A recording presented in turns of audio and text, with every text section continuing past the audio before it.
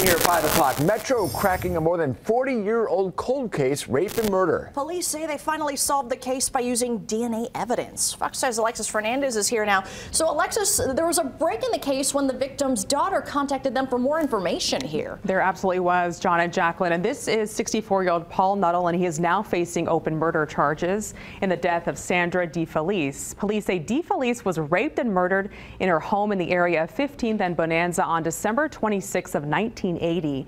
Her three-year-old daughter was staying with her grandparents that night. In February of 2021, the woman called Metro Police to get an update on the case and they were able to, through DNA that they found under DeFelice's fingernails and new technology, Metro Police was able to connect Nuttall to the crime. He was a person of interest in the case, but did not know DeFelice personally, according to police.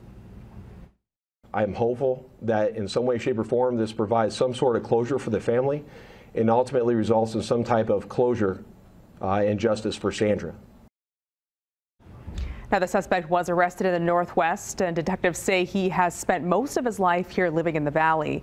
This comes after Metro added more resources to its cold case section earlier this year.